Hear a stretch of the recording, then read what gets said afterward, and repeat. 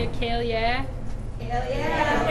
Yeah! Oh, you guys are catching on. Awesome. Love it. Um, if you guys could like come forward a little bit more, that'd be great. Then I don't have to keep my voice too loud. I've been talking a lot today, and you know, it's starting to get a little raspy. And I'm going to be showing a video at the end too, and it's a little hard to hear because we don't have speakers. So the closer y'all get, you know, the more cozy I'll feel. So thank you all so much for coming to this workshop and the Seed and Plant Exchange and learning about seed and getting together with our community and exercising our right to share seed and grow food. And um, yeah, this is a really, really great opportunity um, for myself to share with you what I've learned about permaculture and the techniques that are involved to make gardening easier for our own bodies, but also to help the earth heal. So in permaculture, we stack our functions so we can do a variety of, of work with, with one, you know, with one stick. So if we can tackle a lot of problems with one stick and stack our functions, then we can solve a lot of problems and have a lot more time for leisure and for planting seeds and for, for family time. So hugelkultur um, is the ultimate raised garden bed. I'm Kelly Compost. Um, I do workshops on compost usually, but um, hugelkultur is basically a soil building technique. Uh, it's coined by the Sepp Holzer from Austria. He made this technique public, and basically, it's just using the patterns of nature, of, of how nature works to um, sequester carbon and fertilize and water the forests that are out there right now because nobody's watering these forests except the rain, but somehow they stay green. So if we look at these patterns of nature, we can build sustainable food gardens with really easy steps and make our jobs easier. So it's it's direct carbon sequestration. So if you want to get carbon out of the air, this is like the most active form you can do. Is get out there and actively sequester the carbon. And the amazing thing is it's zero irrigation. We have a problem right now with water. California is, has one year of water left. The drought is upon us. It's only supposed to get worse. So I don't know about you, but I my well went dry this summer. Did anybody else's wells go dry? Well, you know, I live right here in Arcata. My well went dry. So water is definitely a problem that we all face, and we're going to face more. And watering takes a long time. It's a lot of work to water my garden. And using irrigation and hosing, it's a lot of energy intensive work to get that water in the ground. But if we can keep that water in the ground with this permaculture technique and eliminate the need for watering, think about how much more time we'll have for the, enjoy the fruits of our labor. So zero irrigation is probably the most like like the bells on this this technique, but also it has other great things like um, increasing the nutrients in your soil, building soil. It becomes self-tilling because the, the bed actually starts to create air pockets and the organisms and the biodiversity in your bed, the culture of hugelkultur, starts to take over and do the work for you. So nature has now become your biggest ally and is starting to do the work for you instead of going out there and tilling every season, watering every other day, and fertilizing. Um, it also extends your growing season because as decomposition happens within the raised bed, it creates heat. So you can grow things earlier in your season and in later into fall and winter because of the heat that's generated from the decomposition process. It also increases the, the surface area of your arable land from going straight to raised beds. So now you're basically taking a line and putting wrinkle in it. So now you're having more space to grow things in the same amount of area as you had before. So the basics, the basic ingredients of hugelkultur is you're going to want to find hardwoods, alder, madrone, oak, tan oak, things like that, deciduous, deciduous type trees that lose their leaves every winter are the best types of wood because they last the longest. They take the longest to decompose, so they're going to stick around the longest. Uh, wood that you want to avoid is um, cedar, um, redwood, things like that, because they have growth inhibitors and they also take they, they really take so much longer to decompose and they also create these growth inhibitors that um, make your soil acidic and uh, you know suppress plant growth. Um, so you want some good rotting wood, rotting hardwood. Good re- fresh hardwood is the best. Firs are okay. There's a little bit of tannins in there, but once they start to decompose, they're great. So if you have any wood laying around your property, supposed to go to a burn pile, well, that burn pile is going to send carbon up in the atmosphere. If you can bury it in the ground, create a carbon sequestration sink by actively engaging in carbon sequestration, you can participate in the reverse of global warming and put that carbon back in the bank, the bank of Mother Earth. You know, we need to feed her. Carbon is her energy, and that wood was meant to be returned to her. So by burying this wood, you can create maximum water absorption because as the wood decomposes, it becomes a sponge. So it holds on to any water that falls on it, and it holds it there. Um, I'll be getting to show you how all the beds are built next. But if you build a small one, say about two feet tall, you have firewood lined up, cover it with soil, two feet tall, that will hold water for a few weeks, maybe two months. But if you create, the bigger you create these beds with the bigger wood that's inside it, the bigger sponges, you're going to have water holding capacity throughout the dry season. So you're going to have months and months of no, having to not water your garden.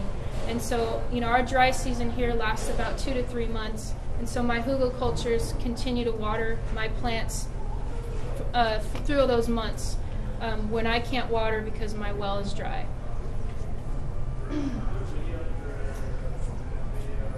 All right, so you can dig down a trench five feet deep, or you can do it right on the surface. There's so many different creative ways you can get with this. You can be artistic about it.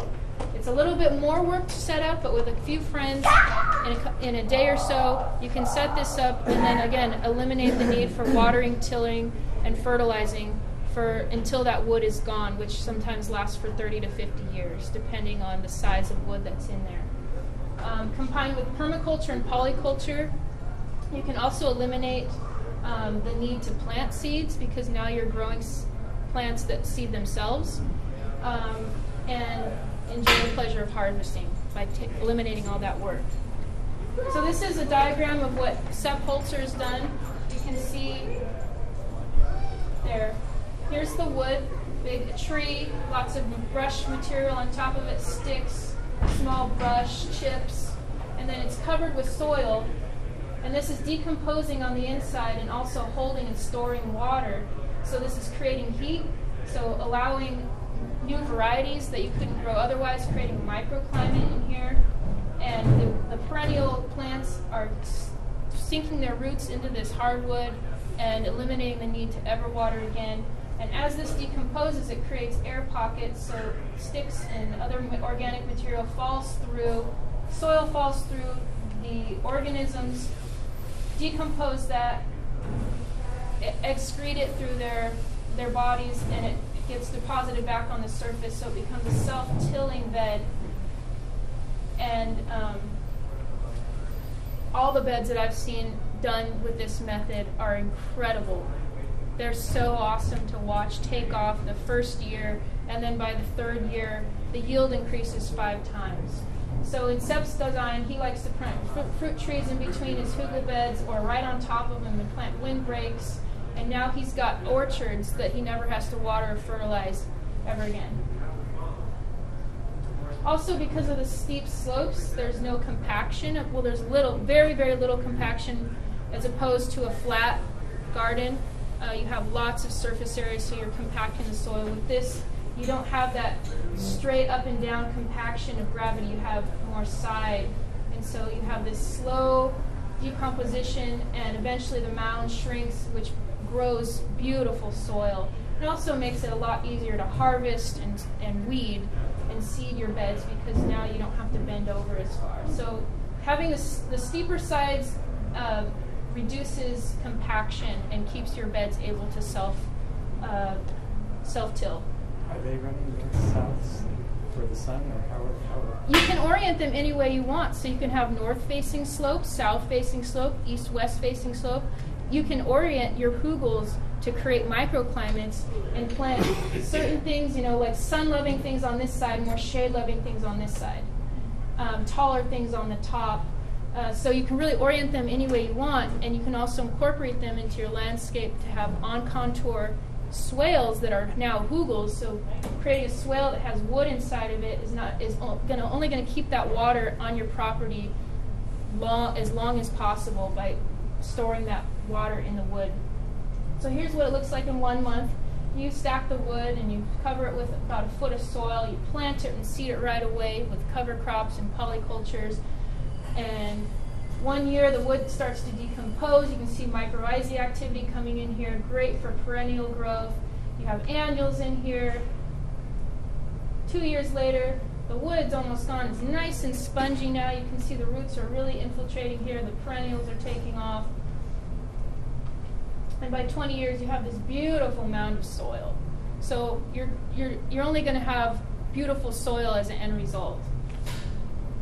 Biodiversity is key. So this culture inside of here is what hugel culture is all about, is creating that community of biodiversity that's going to do the work of nature for you, is going to flourish, because that's what nature likes to do. So here's, you know, a great example. If you got old wood sitting around, perfect, hugel it. Easy, this is like one of the easiest ways to do it is line it up I would put cardboard under it first to kind of kill the grass off. Cover it with soil and seed it right away. So you get a cover crop established and that keeps other competitors like grass from growing in it. Other people, you know, you can take uh, raised bed ideas, put wood inside of it first, some mulch, and then soil on top. There you go, you've just installed your irrigation system. Another way to do it, this guy, he just took half his soil out, put some wood in there, put the soil back. Now he's got an irrigation system. Planting a fruit tree. You want to plant an irrigation system with it that you don't have to go out and water your sapling until it's four or five years old. Here you go, install irrigation system. You're going to have about, you know, a foot of soil on top of that, so the roots do have soil to get into, and once they tap into that wood, they're going to be set. Here's an artistic hugel, it's like a, a, keyhole design. You can see there's big wood in here covered with branches and sticks so people can come in here and harvest and have a nice lovely little day in the garden. Here's another artistic hugel, so it's creating, you know, um, uh, an arti- like aesthetic pleasure when you go out and you harvest your things. You kind of meander and walk around, and so you can kind of get lost in here and enjoy being in your garden. Urban hugelkultur, taking big wood, putting it in a medium, covering it with sticks and horse compost and mulch and then soil. Now they don't have to water that anymore. Isn't that great?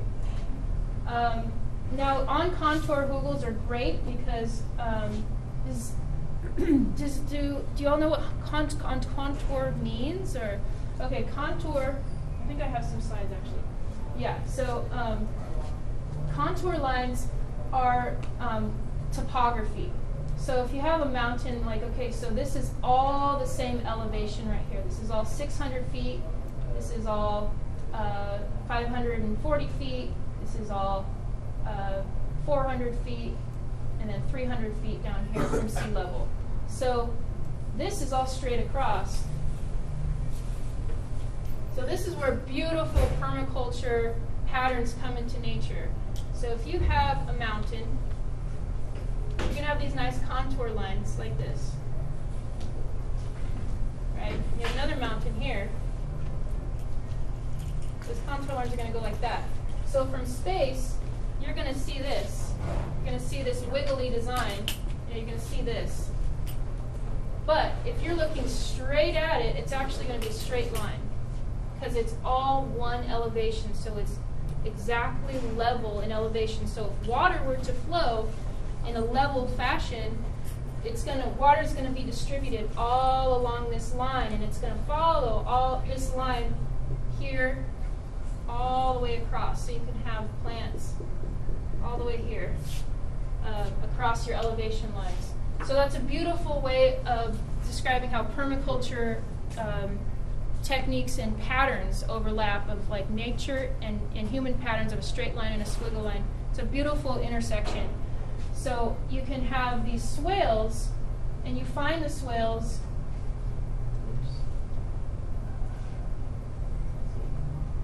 By using an A-frame.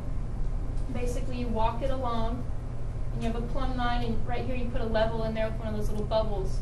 And so you basically walk this around until you find where it's perfectly level. And it will be a squiggly line. It won't be a straight line unless you're looking at it from exactly uh, horizontal. So you'll find these nice contour lines in your yard, and that's where water is going to collect. So swales is a way of keeping water on your property, slowing it down and spreading it and sinking it into the ground. But if you incorporate wood into your swale, it's going to keep that water there longer rather than eventually just running down and into the, the groundwater. So this is a great way of using an A-frame to find the, the contour lines of your property. You dig the ditch, you add a hugel in. So this slows it down, it sinks it, spreads it out, and it soaks it up into that wood. So this way you can have a vineyard that you never have to water.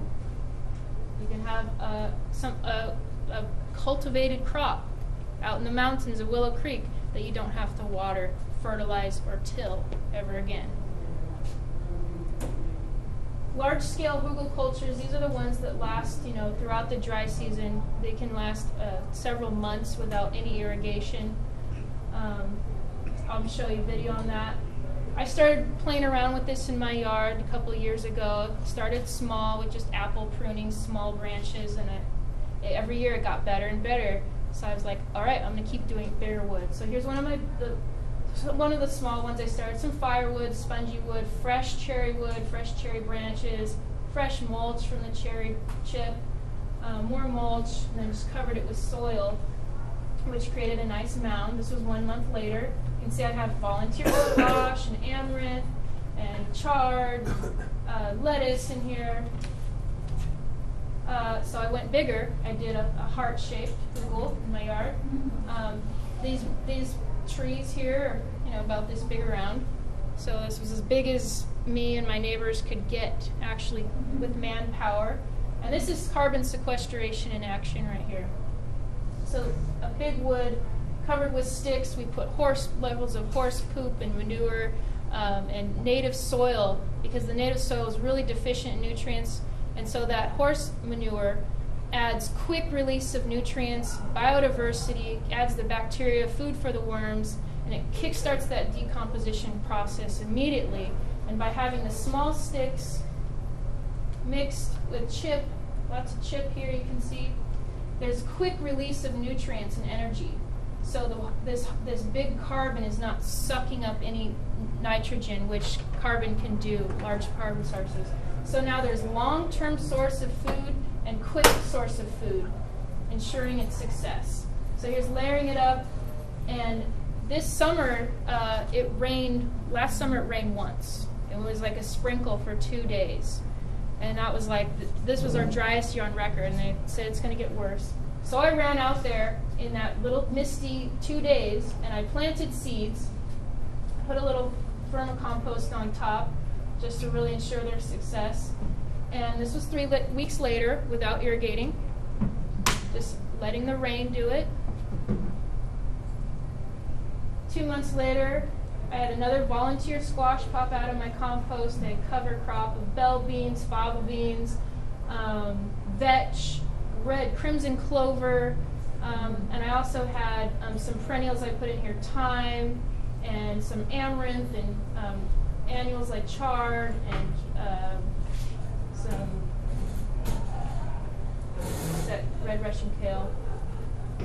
You can see I got squash out of it, I got amaranth out of it, I got bell, uh, beans. Here's my perennial thyme growing out of there. And this was all without watering. Uh, so I know, now I tried it. Let's try just putting it on the ground. The uh, horse manure, aged or fresh, or does it matter? That was still fresh.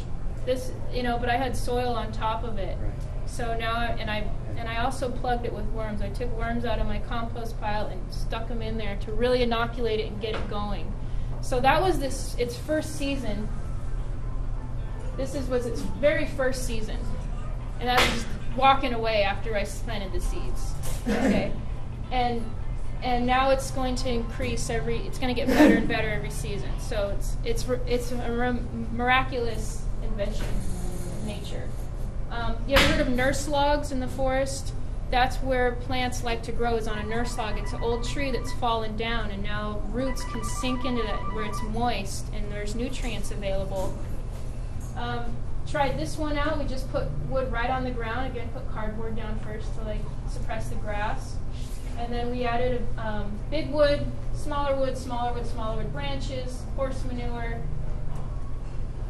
and then we took sod from this plot here in bricks. We put our shovel in and actually made square bricks of soil, turned them upside down to grass side down, and started to um, pile them out on the perimeter, the bottom first, just kind of like building an igloo, and then chunks on top of that. Then we went chunked on top of that, all the way around until we finally got into the center, and we had this mound of medium to grow on. So now, before I had, you know, five feet of growing surface.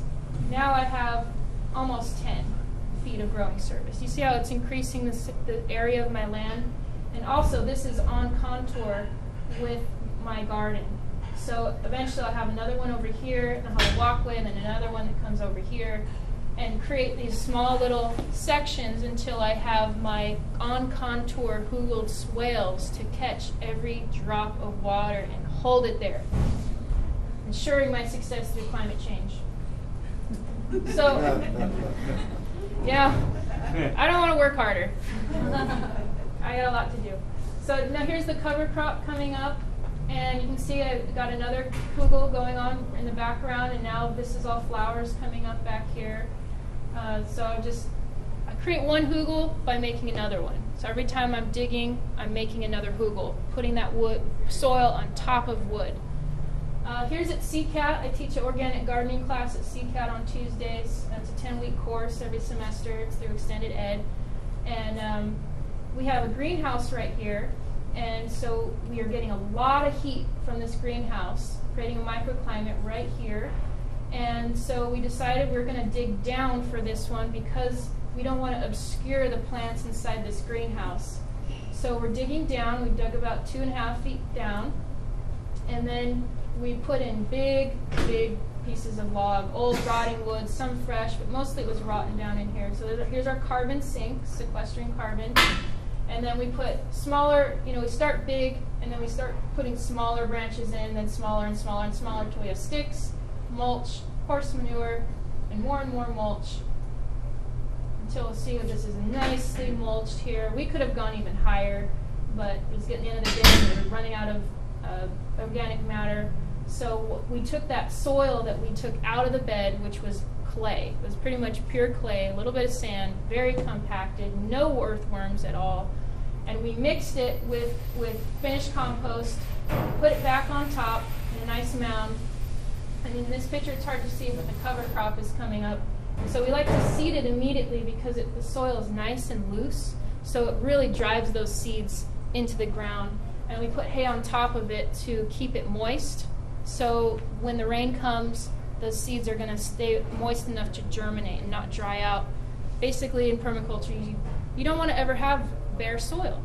So always keep your soil protected from, from moisture loss and sun and keep those critters moist down there so they can have something to eat too and pull down and, and till the soil for you. So here it is, about a month later, the cover crop coming up. Um, we have oat, uh, rye, crimson clover, vetch, pea, and we also put in some perennials for the bees. We are turning this, eventually it's going to be a perennial uh, pollinator garden. So the students are in there planting right now. And then we also incorporated mushroom logs. This is Nameko on alder, and these are from uh, Levon Fungi Farms. He's out on the floor. And so they like to be buried horizontally, and they also like heat and moisture. So in a hugel bed, there's heat and moisture. So we incorporated another food source, and it, it's kind of it's a beautiful, um, aesthetically pleasing um, way to incorporate food into your your growing medium. You can see that the oat and the rye is really tall now. It's about to ready to compost. So what, what we do is we do either chop and drop or a pull and drop method where we take all the green that we is just a cover crop. You know, we want to keep the perennials in there. So we cut it and drop it down or we pull it. But by cutting it, we keep the roots in the soil so it can continuously pump sugars into the soil and feed the, the uh, biological activity in the soil. So, um, but now that we have the green on top, in compost, we always do green and then brown. And that green can actually lose nitrogen by off gassing. So you can see it's mostly what you see is brown is because where we put the green down, we put hay on top of it. So now we're starting to layer and build soil on top of our hugelkultur. And you can see, so now it's pretty much all been mulched with its own cover crop and hay covering the nitrogen so we don't lose that nitrogen. And we can see the perennials back here getting space. And now we have all this space to plant annuals in, which we, we're doing now. The Nameko logs are starting to take off. They're starting to colonize, and we covered those with hay also to keep them moist. So to recap, hugelkultur is zero irrigation, self-tilling, self-fertilizing. It builds soil, extends your growing season because the bed is generating heat, creating a microclimate.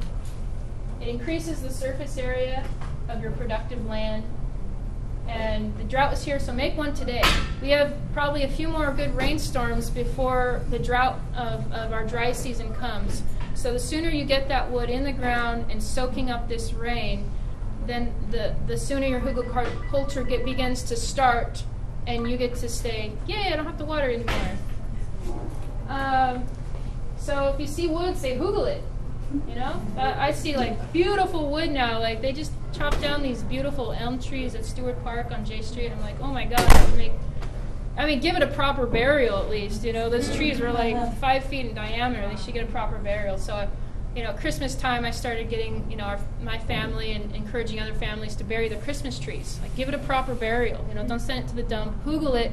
Put that carbon back into the earth. She's really, really deprived of the carbon for own energy. So it's like putting money in the bank in the carbon bank because the whole economy of nature runs on carbon. And so right now it's all in the air. We got to put it back in the earth. So I think that's about it. Thank you. I'm going to show a video here real quick.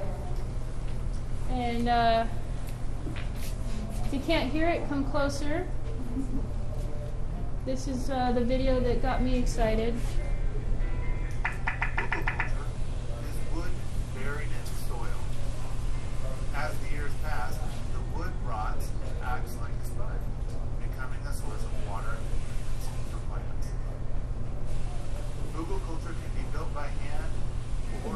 Bigger the the better.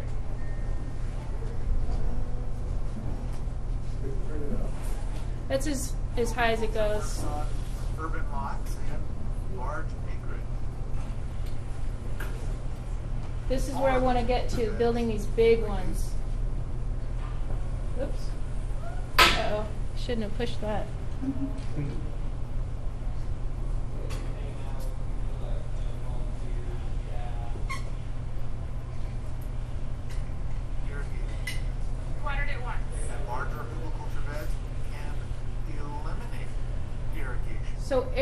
climates are like even better to do it. That prevents erosion by having these branches there, and by seeding it right away, that will prevent it from eroding by having that cover crop in there.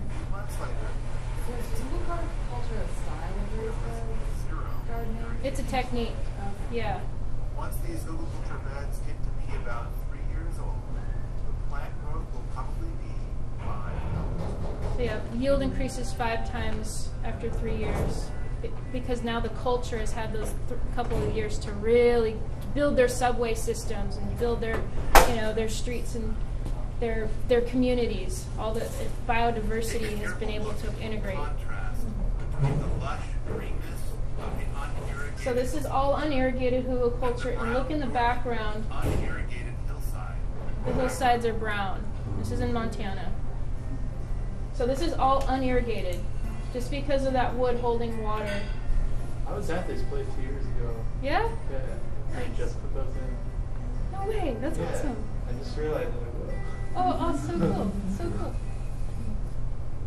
you know, it's safe to say that the plants that haven't gone through any of this irrigation are, are still extremely vital. And even in the hot si- time of this year, when you look at all the properties around and their barley fields and, and even some of the alfalfa fields are, are brown, this area has been, been vital and green throughout all of the summer. The recipe is wood and brush covered with soil.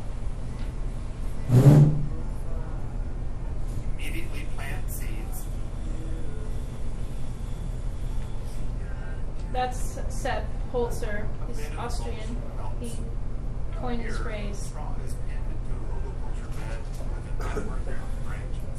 These are nails that we created just with the shape of the branches. Um, and this side is just about five or six inches, but we cut them so that it's about two or three feet, um, as much as we could on that other length, uh, the other length there, and you hammer it in um, and take these other. So this is branches like earthworks at its best. Engineering with earth.